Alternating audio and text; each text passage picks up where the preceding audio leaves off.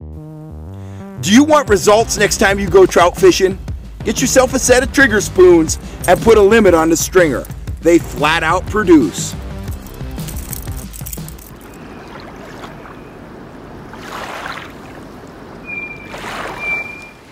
Howdy folks, Cal Kellogg here. Today we are going to talk about connecting lures or hooks or whatever you want to connect to the end of your leader. Now, when I'm out trout fishing, I always try to use one of those little dual lock snaps on the end of my line. Not a snap swivel, just a snap. Just makes it easy to change lures. I know my lure is always going to have freedom of movement on that snap, but I've had several people ask me, well, if you don't have the snaps and you want to tie a lure on using a loop, how do you do it? Well, this is called a perfection loop knot. It's the same knot you'd use out in San Francisco Bay for tying on a live bait hook.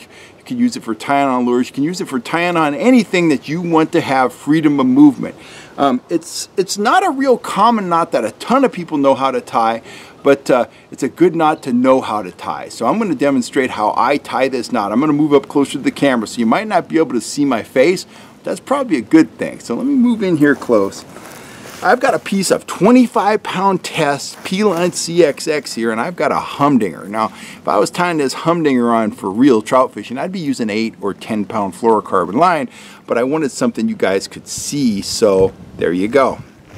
So first thing we're going to do is we're going to take the end of the line we're going to have about eight or nine inches of line there. I've got probably three feet of line in total, but eight or nine inches of line, and we're going to cross this line over itself just like that just and I'm crossing it you know on your side the camera side right there. I'm just crossing it over and I'm holding it in my fingers. Now the next thing we're gonna do whatever kind of object we want to tie on we got to put on that that tag end right there. So let me thread this humdinger on here. Almost I'm getting closer. There we go I got it. So the humdinger's over there it's it's on that piece of line.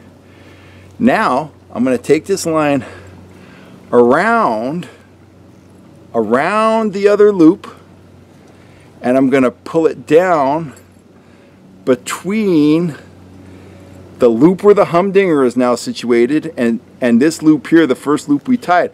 I'm going to take the humdinger or the hook or whatever it is. I'm going to drop it through that first loop we formed and now I'm just going to pull this whole thing down. See that? I'm just going to pull that down now to avoid having a huge loop, you could kind of work it down and make this loop smaller. You could feed it in, just adjust it down because you don't want a huge loop. So I'm just feeding it down, tightening up the loop. I'm pulling this down tight. Now I'm going to wet the knot right here. You can see it's starting to, to knot up. There we go, just like that. Grab a knife here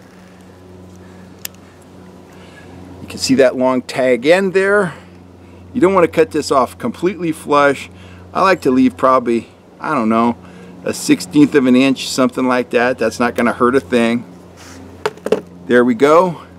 Done and done. That is the perfection loop knot. And whether you're tying on live bait hooks in San Francisco Bay, spoons to troll in a lake, anything you want to have, you know, absolute freedom of, of movement the Perfection Loop Knot, it gets the job done. It's a simple knot to tie, requires a little bit of practice, but uh, man, all my years of fishing San Francisco Bay, I can pretty much tie that thing in my sleep. It's a little easier to tie when you're not doing it on camera, but anyway, that's a knot you need to know. It's not one of the, the top most common knots, but it's called a perfection loop knot. You can find illustrations and stuff online or just keep, you know, rewinding this video until you get the hang of it. Just grab yourself a hook or a snap or something and some line and sit there and practice it. Tie it a dozen times and uh, you'll never forget how to do it. Just remember, you loop the line over and cross it in front of yourself, put on whatever you want to tie, bring the line around, put it between the two loops, take the object you're tying on, shove it through the far loop, and work that down, and you have just tied a perfection loop knot. It's to look just like that, nice and clean, and that spoon has freedom of movement. A live bait hook has freedom of movement. That anchovy can swim around until a halibut grabs him or whatever. So anyway, hopefully you learned something new. I'm Cal Kellogg. I'm signing off. If you haven't hit that subscribe button, please do it. And I want to thank all you folks for all the support over these, you know, last few years. Um, without you guys, we wouldn't have an FHS channel. So thanks a lot.